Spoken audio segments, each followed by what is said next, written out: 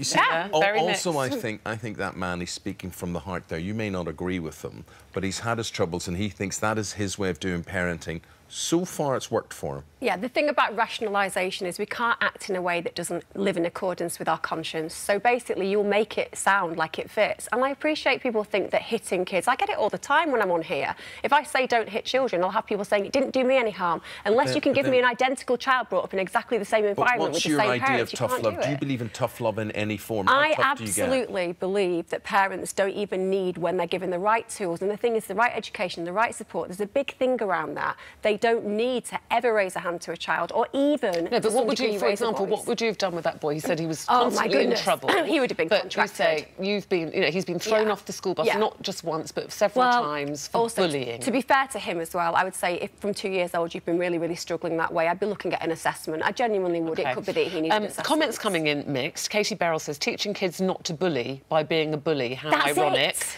I'd never want my son to do things that I ask him to do out of fear. That's it. Lucy Oakes, however, says children aren't being disciplined these days as parents are far too frightened. Kids shouldn't rule the house. If this teaches them a lesson, I'm OK with it. And so they go on mixed. Totally get that. However, the poll that we were running today asking you, has internet child shaming gone too far? By posting those videos, 86% of you say yes. People in the UK are brilliant. I think that thing of people saying it's not so much the punishment sometimes, It's it's, the fact it's the humiliation of posting it. I think what's seems be. terrifying is the posting brings it to light that it's actually happening. Happening. Yes. Yeah, the fact is, it'd be worse to me if you think people are bringing their children home and shaving their head. I mean, when we were at school and used to have all sorts of weird Bay City roller hairstyles or Rod Stewart or I'd like whatever to it was, see that. and your parents would say, "I'm going to cut that off." You know, you're That gonna was your do- you're- identity. yes. Yeah. But the idea that that would be seen as abuse now retrospectively would just make me laugh. But you Yeah, and people are like that It used to be like that in our day because things Yeah. change and the world has moved on. You Yeah. can't smack children now. And But also, there's abusive. reasons behind it, there's research behind it. It's not because we're trying to give parents a hard time. We want the best for kids.